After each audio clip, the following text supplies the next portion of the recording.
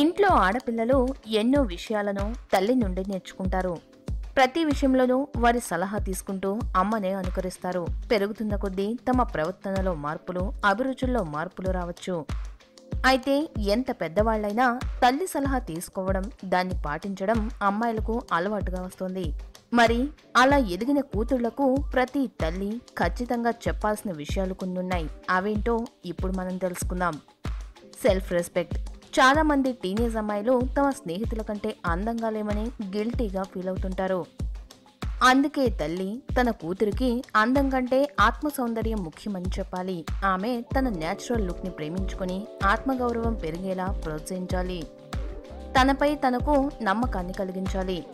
Independence. ఇంట్లో అమ్మా నాన్నలే అన్ని విషయాలు చూసుకుంటున్నప్పటికీ ఆడపిల్లలకు కొన్ని విషయాల్లో స్వతంత్రత నేర్పించడం చాలా అవసరం.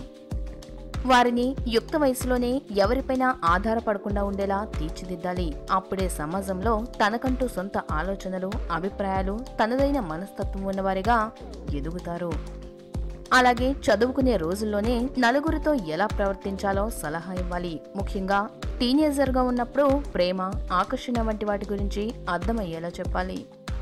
తన బిడ్డ ఎవరినైనా ఇష్టపడుతుంటే వాళ్ళు ఆమె అందంపై ఆకర్షితులవుతున్నారా? లేక ఆమెను ఆమెగానే ఇష్టపడుతున్నారా అనే విషయాన్ని గ్రహించమని చెప్పాలి.